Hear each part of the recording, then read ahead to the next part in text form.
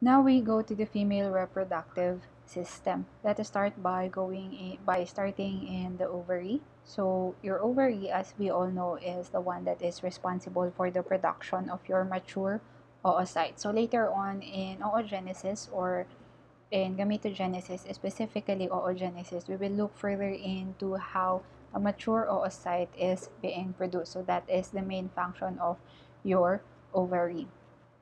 And the ovary is, or, or next to the ovary, which is a part of the reproductive system that is not connected. So your uterine or your uterine tube or your fallopian tube is another part of the female reproductive system that is not connected to your ovary but is the one or has fimbriae, um, um, finger-like projections or fimbriae that actually sweeps the released oocyte or a mature oocyte that has been released by your ovary and allows it or transports it into your uterine tube. So it is through the sweeping and the ciliated actions by this fimbriae that actually collects the mature oocyte that has been released from your ovary. Okay, so as your fimbriae sweeps uh, this oocyte, the oocyte is being, the mature oocyte is now being transported into your uterine or your fallopian tube. So, yan. Yan yung inyong fallopian tube. And then your mature oocyte stays here and waits for a sperm cell. If um if a sperm cell, if it meets a sperm cell, another ciliated action of your uterine tube allows the fertilized uh, egg cell to be um, swept down into your ovary. So, ito uh, into your uterus. So, ito na si inyong uterus, this one. So, your uterus is an uh, is like an apple-sized, it's like an apple-sized part, um, part of your reproductive system. So from your biology days, you also learned that your uterus is the one that would actually um, carry the developing zygote. So, kapag na-fertilize yon at nagkaroon ka ulit ng ciliated action, pushing the fertilized egg cell pababa dito sa inyong uterine tube, papunta dito sa inyong uterus, yung zygote na yon or yung fertilized egg cell will be implanted in the lining of your uterus we call as your endometrium. Okay, also note that your endometrium is very much close to your ovarian blood vessel. So dito sa uterine wall na to, or dito sa endometrium, dito rin nagbi-build up yung blood vessels okay, in order to support your developing embryo. So yan si inyong uterus. Also note that your uterus in this um, um, parang side cross-section ng um, female reproductive system. And here, your uterus is very close to your urinary bladder such that kapag nagkaroon ng implantation dito sa uterus ninyo, your uterus would expand to accommodate the developing zygote. And that expansion actually results to the pushing of your urinary bladder as well as other organs that are present in the female body, resulting kaya napupush din yung lungs pataas, napupush yung stomach and other organs, kaya nahihirapan huminga yung isang babae. It needs to breathe twice at it, as it usually does because the lungs is being pushed through and also it has to compensate for the oxygen that she needs and for the developing zygote and the oxygen that the developing zygote needs. Another one, kaya yung mga pregnant women din, lagi silang umiihi, is because urinary bladder is being pushed down by the uterus. Okay? So, if you see a pregnant woman lining up in bathrooms, paunahin nyo na sila. So, that is your uterus. Okay? Next to your uterus is a small opening, okay, which is which which we call as your cervix. Okay, so yung small opening na to would lead now to your vagina. The cervix is a very flexible muscle that would allow the opening during delivery nung bata if ever man merong na-implant na zygote sa inyong uterus. Um, this cervix is the small opening of the uterus leading now to the vag to the vagina or your vaginal canal. Okay, so this um, vagina is a thin-walled tube which is also considered as the birth canal. This vagina has a very thick mucosal lining that is also occurring in folds. So, ito, uh, if you see here, there are actually folds that are uh, shown in your vagina. These folds are very important kasi kailangan napaka-flexible ng vagina ninyo as this plays a very important role during birth. Okay, so when the developed zygote or a mature child already is being uh, pushed from the uterus down to, uh, down to the cervix, down to the vagina, mag expand yung vagina ninyo.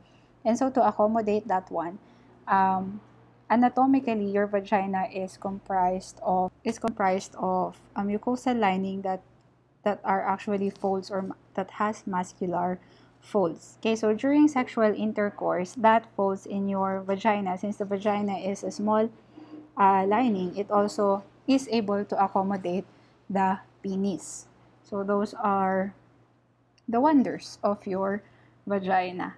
Okay, so outer part now of your female reproductive system is what we call as your um, pubis, actually you have further another part. Outside of it is your mons pubis where the pubic hair is growing. And then after that you have your uh, or inner that you have your la uh, labium majora and then your labium minora. Okay? Or the lips or what we call as your lips. And the ay hindi pinapakita dito okay but in the uh, in the juncture of your labium minora, may makikita, in the juncture of your labium minora, you will see a group of tissues which we call as your clitoris. So this clitoris is similar to the glans penis in male reproductive system. So this clitoris is known to have um, very sensitive, is a very sensitive tissue that is involved in sexual or in uh, sexual stimulation. Note also that in your female reproductive system, the urethra, which is this one, is different from the vagina. So in sexual intercourse, it is the vagina that is involved while during urination, it is the urethra that is involved. Okay, unlike in your males, naiisa lang yung passage ng semen at saka ng, ur ng uh, urine, which is all through the urethra. Okay, so it's different. It is different among your females. Now we go to gametogenesis part in the female, which is your oogenesis. So it is the formation of your oocyte. Genesis again is creation or formation, and oo is your um, oocyte. So there are two major stages, which is again first similar to your um, spermatogenesis. It starts with mitotic proliferation. And then we go to meiosis wherein you have the production of haploid oocytes. And as we mentioned kanina, nangyayari yung mga to dito sa inyong ovary. So let us try to look kung paano siya nangyayari. Again, we start with the primordial germ cells. So you have in here primordial germ cells in your ovary. And then these would undergo meiosis producing what we call as your oogonium.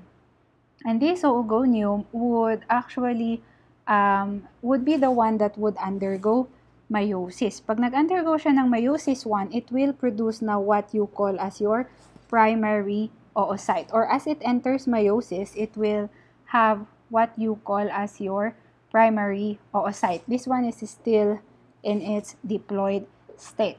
This primary oocyte would undergo first meiotic or the first stage of meiosis producing now what you call a secondary oocyte and the first polar body. However, this does not continuously occur unlike in the production of your sperm cells. In your female reproductive or in oogenesis, in the production of egg cells, the primary oocyte is usually arrested or nagiging, nagkakaroon ng resting stage between the production of your secondary oocyte from the primary oocyte. So actually, in the primordial germ cells, you have around 2 million primordial germ cells. By the time that a female individual reaches maturity or reaches puberty, meron na lang siyang around 300,000 to 400,000 na oogonium. Okay? Or yung tinatawag natin na um, follicle, mature follicle na pwedeng maging primary oocyte. From this one, only around 400 lang yung nagmamature. Okay? So, around 400 follicles lang yung nagmamature at nagiging primary oocyte. Okay? So, at pag naging primary oocyte sila, they are actually arrested at the primary oocyte stage until ovulation occurs. Kapag nagkaroon ka ng ovulation, tsaka lang marirelease yung inyong secondary oocyte. Kaya may tinatawag na resting state at the first meiotic stage during oogenesis or during the egg cell production. Okay, so nasa na tayo nun? Uh, in this image, ito na yung mature follicle ninyo, which is this one. We're only at around at around puberty, 400 na follicles lang yung maiiwan sa ovary ng isang babae. Tapos, yung 400, um, yeah, uh, 400 na mature follicle. So, karamihan ng primordial germ cells niya nawala na during the developmental stage. Itong 400 follicle, mature follicle na to na maiiwan, ito yung ma-release every time na magkakaroon ng menstruation yung isang babae or until the time na ma-fertilize yung egg cell na yon. So, yung mature follicle na to proceed or would proceed into the primary oocyte. Itong primary oocyte na to, it, it, it is considered as the resting state during the uh, meiosis 1, specifically yung prophase 1 stage ng inyong meiosis 1. So, nakarest lang yan until magkaroon ka ng ovulation. Pag nagkaroon ka ng ovulation, doon pa lang yung time na ma-release siya dito as secondary oocyte. So, kapag malapit na yung ovulation ng isang babae, magkakaroon ka na ng secondary meiotic division. If it is near ovulation ng female, magkakaroon ka na ng second meiotic division producing now your secondary oocyte. Okay? Or what we call also as your ootid and what, and what will become as the mature ovum and will be fertilized by the sperm cell. Okay? So, yun, yun yung ating dito. Okay.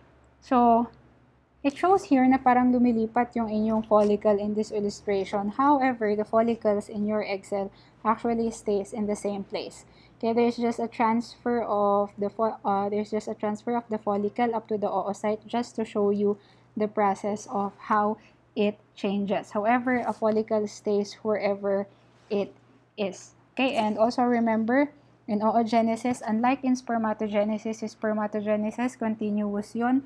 Sa inyong oogenesis, nagkakaroon siya ng resting stage. Okay? Later on or on the second on the last part of our lecture, pupuntahan natin um, how are these being regulated um, by some of the hormones that are present in uh, male and, and female reproductive system.